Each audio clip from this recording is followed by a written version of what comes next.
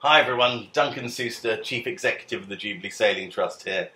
Wow, what a difference a week makes. I was just reflecting this morning. Seven days ago, we had £350,000 to raise to save the JST.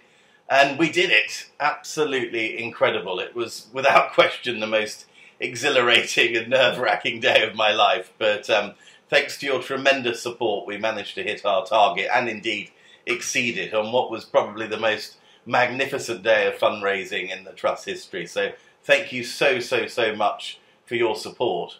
Uh, per the statements that the trustees issued earlier on this week, we're now focused on making the most of your support and ensuring we build the bright, strong future for the trust that we really need.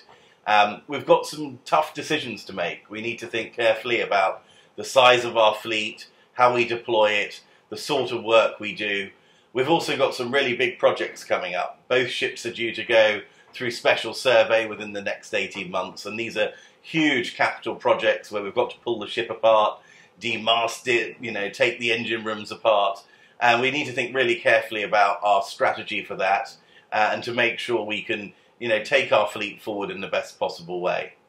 Um, we really appreciate all the thoughts you've submitted uh, about how we can best take the trust forward. Please keep them coming. Um, if you've got any ideas or suggestions, uh, email them to emergency.appeal at jst.org.uk.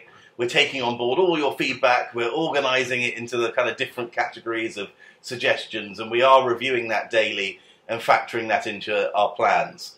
And, and as they develop over the next you know few weeks, we'll certainly be finding opportunities to talk them through with you and get further ideas. Uh, we want to get everyone engaged uh, in our plans for the future. And I think if the last you know couple weeks has highlighted anything, it's the amazing power and passion that we have in the JST community, and we'd be complete idiots not to really you know marshal that and ensure that's right at the the very centre of our plans in the future. So once again, thank you so so so much for your support to all our donors, to all our volunteers, our suppliers, our partners in the community.